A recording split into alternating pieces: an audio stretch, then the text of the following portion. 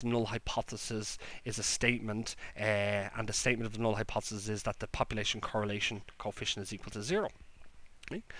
Uh, but what we can actually do is we can hypothesize with respect to the correlate the population correlation coefficient to be any value, in which case this particular statistic here allows us to do the calculation. And once again, like all our statistics, you can see that the numerator uh, is the difference between the sample evidence, the sample correlation coefficient, and the population or the hypothesized population value, which is defined in our null hypothesis. So R minus rho, in this case here, is calculating how far our sample evidence is away from our hypothesized uh, value of our population correlation coefficient. Now it just happens that in this case our, our, our hypothesized value is 0, so rho becomes 0, and this formula then naturally becomes this formula on the right hand side. So we need to calculate our test statistic. Uh, we know what R is. R is 0.94. So our test statistic is T is equal to 0.94 minus the value of the population uh, correlation coefficient under the null hypothesis. So it's minus 0 divided by 1 minus r squared, so it's 1 minus 0.94 to be squared, divided by n minus 2. n is the number of paired observations that we have. n is equal to 6, so n minus 2 is going to be 6 minus 2, and it's the square root of that particular value here. Okay, So this gives us uh, 0.94 divided by, I'm just going to grab the calculator and do this calculation here. So it's the square root, and I'm going to put what's inside the square root in brackets. It's the square root of 1 minus uh, 0.94 squared, okay? And that needs to be divided by, well, that needs to be divided by 4, okay? Which gives us a value of 0, 0 0.17 approximately. So our test statistic t uh, is equal to, well, it's equal to 0.94 divided by 0.17, okay, which gives us a value of 5.53 approximately. so what we're saying is this, in standard units terms, our observed, I suppose, our experimental results, yeah, of 0.94 for the sample correlation coefficient. In standard units terms, uh, that is 5.53 standard units away from our hypothesized uh, value of our population correlation coefficient. Okay, so we're nearly done now. Uh, the next uh, stage in this particular process is that we need to calculate we need to calculate the critical values for t distribution. So step four is our critical our critical values. Okay. Uh, let's just keep in mind that this is being modeled by a t distribution. So it's a t distribution. Okay, centered on zero. It's a two-tailed test. So we have a left tail and a right tail.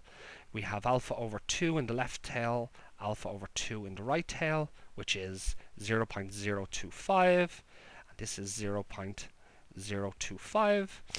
And the question that we have is, what are the critical values that have 0.025 of the area to the right of them and 0.025 to the left? And to find that, we go to our t-distribution tables. Okay, so our t-distribution tables. Okay, we will look for uh, the area in the right-hand tail is going to be 0.025, and our degrees of freedom. Well, our degrees of freedom are defined to be the sample size minus one. So it's n minus 1, which is 6 minus 1, gives us 5. We triangulate in, and this is our respective uh, critical value. Okay, so I'm going to go to our t-distribution tables. Our t-distribution tables uh, with an area of 0.025 in the right-hand tail and with 5 degrees of freedom. The critical value is 2.571.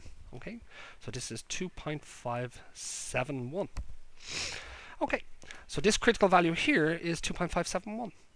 So if we look at this in a little bit more detail, what we're saying is that this value here is 2.571 and this value over here is minus 2.571 and we're saying that anything falls that falls into a tail area uh, has a probability at most 0.025 uh, if the null hypothesis is true.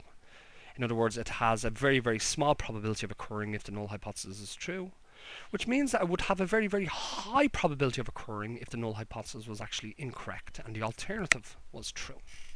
Okay, so we can see that our t statistic is 5.53. So our t statistic falls into this tail here. t is equal to 5.53. So it falls into the rejection region. So we know to reject. So our decision, step 5, our decision is, well, clearly, clearly our t value is bigger than our critical value. It's a two-tailed test, so let's just say the absolute value our t value is bigger than our critical value, absolute value over critical value, and what we mean by that is 5.53 is bigger than 2.571, and as such, as such, we reject H0 in favor in favor of HA at the 5% significance level.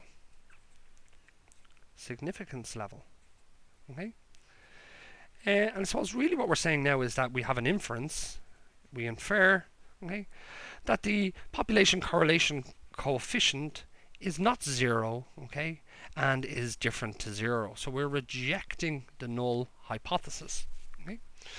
I suppose in real terms what we're saying is that the evidence that we've captured, okay, that the evidence that we've captured, okay, and the correlation coefficient that we've calculated from it, 0.94, that that's sufficient evidence to suggest that the true population correlation coefficient is not zero and in fact is different to zero.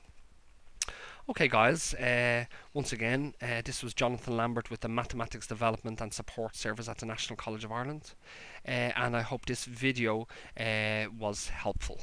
Thank you.